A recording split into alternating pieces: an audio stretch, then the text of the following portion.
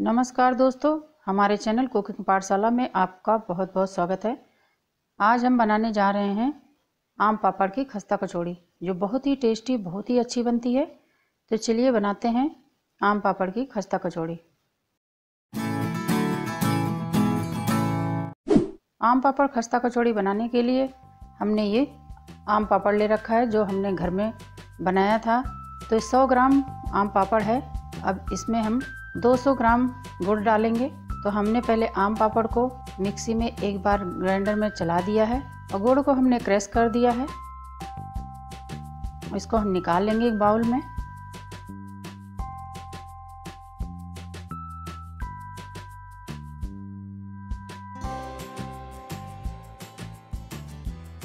दो चम्मच ने सौंठ का पाउडर ले रखा है और एक चम्मच काला नमक ले रखा है। तो इसको भी इसी में ऐड कर देंगे। अच्छे से इसको मिला लेंगे। अब हमने ये काली मिर्च ले रखी है। काली मिर्च को हल्का सा घी में फ्राई करके और इसमें मिक्सी में इसको डाल देंगे सारे। सभी मिक्सी में डाल करके हम एक बार और पीस लेंगे।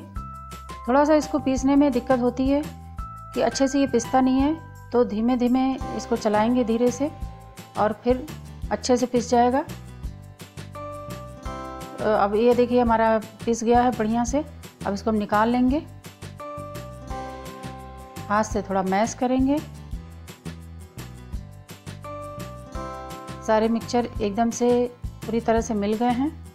बहुत ही अच्छा फ्लेवर इसका आता है। तो अब हम इसको साइड में रख देंगे। ये हमारा बैटर बन के तैयार हो गया। अब हम खस्ता कचौड़ी के लिए आटे की तैयारी करेंगे। तो दो कप हमने मैदा ले रखा है। आधा कप हमने रिफाइंड ले रखा है। तो हम इसको अच्छे से मैश कर लेंगे।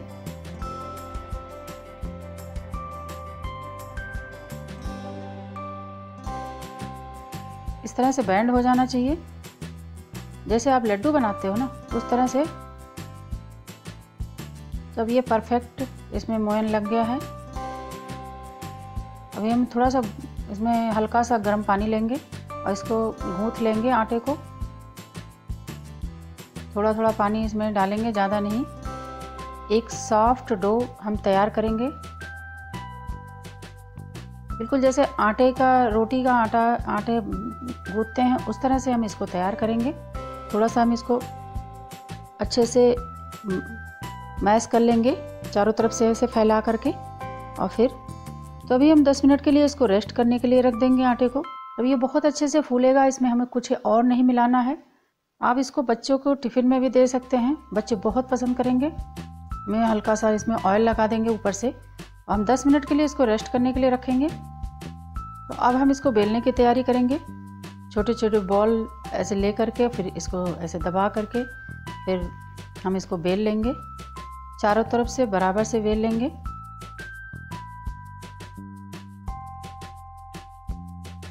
तो इस तरह से हम इसको बेल लेंगे, बेल करके इसके अंदर ऐसे बैटर भरेंगे। एक छोटी सी रोटी की साइज़ होती है ना, उस आकार में हम इसको बेल के एक से डेढ़ चम्मच जो भी आप, जितना इसमें आ जाए तो इस तरह से हम ले करके और इसे दबा लेंगे चारों तरफ़ से। चाहे तो आप एक साथ बेल करके रख सकते हैं या एक एक करके बेल लीजिए। इसको हम इस तरह से दबा देंगे और फिर हम बेलन से बेल लेंगे बराबर से। अगर आप गुड़ पसंद नहीं करते हैं, वैसे गुड़ तो सेहत के लिए बहुत अच्छी चीज़ होती है तो बच्चे भी खा लेंगे। तो अगर नहीं गुड़ यूज़ करना चाहते तो आप चीनी भी यूज़ कर सकते हैं। इसमें जो खट्टा मीठा और तीखे सोट का जो स्वाद आता है, गुड़ और सोट का, वो बहुत ही टेस्टी होता है। और आम पापड़ तो वैसे भी सबको पसंद आता है। तो आप ज़रूर बना के खाइएगा और हमें कुकिंग पाठशाला के साथ आप अपना अनुभव ज़रूर शेयर करिएगा।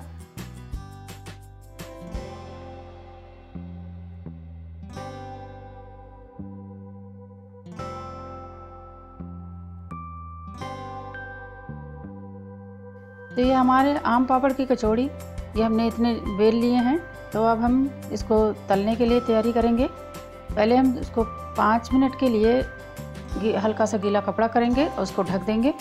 अब हम कढ़ाई में ऑयल डाल करके इसको गर्म करेंगे। पहले हम हाई फ्लेम पे रखेंगे। तेल हमारा गर्म हो चुका है। अब हम चेक करेंगे थोड़ा सा डाल करके। ये टेस्ट करने का तरीका होता है कि जब ऊपर आ जाता है तो इसका मतलब हमारा ऑयल अच्छे से गर्म हो गया है। अब हम फ्लेम को मीडियम कर देंगे।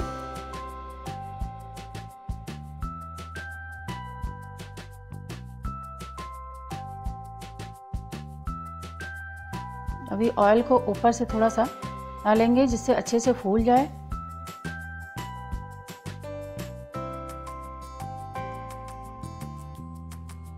अब हम फ्लेम को स्लो कर देंगे बिल्कुल, और इसको पलट देंगे। और स्लो पे ही पकाएँगे, इससे बिल्कुल कच्चापन नहीं रहेगा। और बहुत ही क्रिस्पी बहुत ही टेस्टी बन के तैयार होता है। तो आप ज़रूर बना के खाइएगा, और हमारे वीडियो को ज़्यादा से ज़्यादा लोगों में शेयर करिएगा।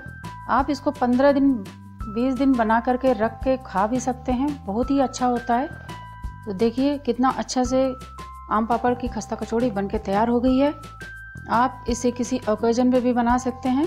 तो अगर हमारे आम पापड़ की वीडियो आपको अच्छी लगी तो हमारे वीडियो को ज़्यादा से ज़्यादा लोगों में शेयर करिएगा और कमेंट बॉक्स में लिखिएगा कि आपको ये आम पापड़ की खस्ता कचौड़ी कैसी लगी।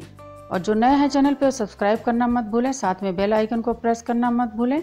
तो चलिए अब मिलते हैं नेक्स्ट वीडियो में। तब तक के लिए आपको बहुत बहुत धन्यवाद।